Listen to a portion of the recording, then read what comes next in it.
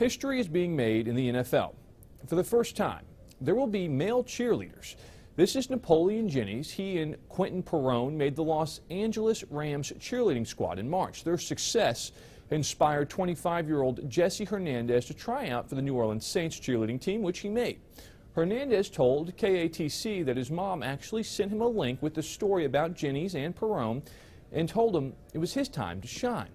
Teams like the Colts and Ravens do have stuntmen, but these male cheerleaders will be dancing alongside their female teammates and doing the same moves.